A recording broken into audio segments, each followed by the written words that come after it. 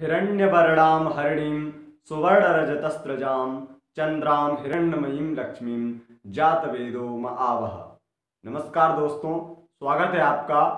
आज हम 2020 वृश्चिक लग्न वालों का भविष्य फल बताने जा रहे हैं। आपकी कुंडली अगर वृश्चिक लग्न की बनती है तो कैसा रहेगा 2020 आपके लिए? आइए जानते हैं। वृश्चिक लग्न की कुंडली है तो कैसे जानेंगे? आठ नंबर अगर आपके लग्न कुंडली के प्रथम भाव में, यानी कि पहले खाने में आठ नंबर लिखा है तो आपकी कुंडली बनती है वृश्चिक लग्न की। और वृश्चिक लग्न, ये लग्न के स्वामी लग्नेश कौन है? इनके स्वामी हैं मंगल देवता। मंगल जो कि रक्त का कारक है। मंगल जो कि लाल कलर, यानी कि रेड रंग का कारक है। तो अगर रेड कलर का कारक है मंगल, रक्त का कारक है मंगल, युद्ध का कारक है मंगल, चोट चपेट दुर्घटना, एक्सीडेंट जो होते हैं, वो उनका कहीं ना कहीं कारण मंगल और शनि बनता है। तो मंगल का विशेष भूमिका, जैसे कि अभी वर्तमान में जब मैं ये वीडियो बना रहा हूँ तो वर्तमान में मंगल का गोचर चल रहा है वर्तमान दिनों में। तो मंगल का गोचर जो है, वो कई प्रकार से, मंगल का गोचर किस राशि में चल रहा है? अभी तुला राशि में। तो मंगल का गोचर कई प्रकार से दुर्घटनाएँ करा रहा है। अभी बहुत सारे लोगों को चोट, चपेट, वर्तमान में एक्सीडेंट इत्यादि हो रहे हैं। वो मैंने गोचर की स्थिति आपको प्रकट की थी एक वीडियो के भाव में। तो वीडियो में मैंने बताया था कि मंगल के गोचर से किस राशि को दुर्घटना, एक्सीडेंट इत्यादि, चोट, चपेट की दिक्कतें सामने आएँगी। तो ऐसा मैंने उसमें बताया था। ऐसे ही मैं तमाम वीडियो बनाता रहता हूँ, जिसमें जानकारी आपको देता रहता हूँ कि कौन से ग्रह गोचर के आप पर क्या प्रभाव डालेंगे। तो ये सब जानकारी आपके लिए अच्छी लगती है, आपको लाइक करते आप शेयर करते तो इसी से हमारा ये प्रसन्नता बनी रहती है और हम आपको जानकारी देते रहते हैं।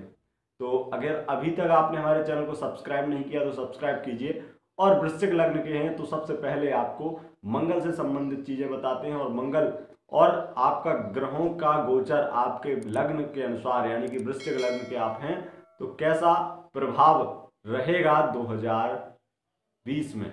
2020 में सबसे पहले पराक्रम में वृद्धि होगी, आपकी मेहनत रंग लाएगी, मेहनती आप अधिक बनेंगे, और इस वर्ष अगर आप आर्मी इत्यादि, पुलिस फोर्स में किसी प्रकार से नौकरी के लिए प्रयासरत हैं तो उसमें निश्चित ही आपको लाभ मिलने जा रहा है। और वही अगर आपको किसी व्यवसाय में नया इन्वेस्ट करना चाहते हैं या आप भूमि इत्यादि का क्रय विक्रय का कार्य करना चाहते हैं तो उसमें आपको बहुत ज़्यादा सफलता मिलने जा रही है। वही अगर आप कोई नया मकान इत्यादि बनाते हैं तो निश्चित ही उसमें भी सफल होंगे। कोई भी दिक्कत अगर पैसों को लेकर आ रही है, पैसे दिक्कत कर रहे थे मतलब पैसे नहीं मिल रहे थे, किसी से कर्ज इत्यादि लेना चाहते हैं, ऋण लेना चाहते हैं, और वो पास नहीं हो रहा था बैंक से तो वो भी पास हो जाएगा। ये समस्याएँ काफ़ी हल होंगी, लेकिन एक समस्या आपकी हो सकती है। वो समस्या है आपको पेट संबंधित रोग हो सकते हैं, पाचन तंत्र में कोई कमी हो सकती है 2020 में, और अप्रैल के महीने में ये समस्या कुछ ज़्यादा ही आपको देखने को मिलेगी कि मसाले, तली चीज़ें आप ज़्यादा खाएँगे तो वहाँ पे नुकसान देखने को मिलेगा। वही आपके शादी के योग भी 2020 में आपके लिए बनते हुए दिखाई दे रहे हैं और संतान के योग भी यहाँ पर बनते हुए दिखाई दे रहे हैं।